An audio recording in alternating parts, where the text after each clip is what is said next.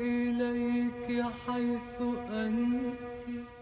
وصلت تحية فيروز إلى جميل بوحرد ولكن الأخيرة لم تحي بأحسن منها ولا ردتها حتى للمعتقلين الذين يخيم عليهم ظلام سجون الطغاة من دمشق إلى بيروت وصولا إلى قاهرة المعز لدين العسكر.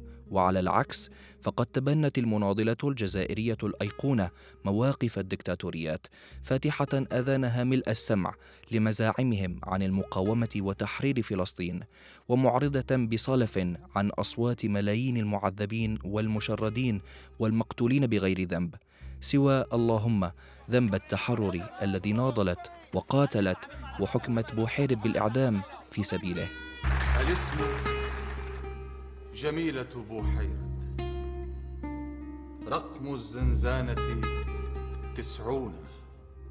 وعلى بعد ستة عقود من سجن جميلة ثمة عيون تطفأ وأحلام تغتصب في سجن يشبه سجنها بظلمه وظلامه وقسوة جلاديه إلا أن قصائد السياب ونزار لم تدركهم لتجعل منهم أيقونات كفاح ولا أصابهم وابل من صوت فيروز ولا طل ليرفعهم فوق البشر درجات ولا أدركهم يوسف شاهين ليظهر صورهم للعالم بطريقته.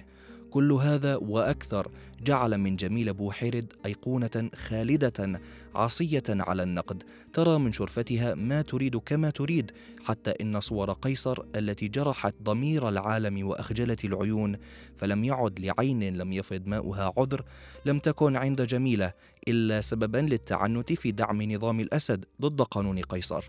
فنضالها وحده هو الحق وكفاحها وحده ما يجب أن نقطع أعمارنا متغنين به.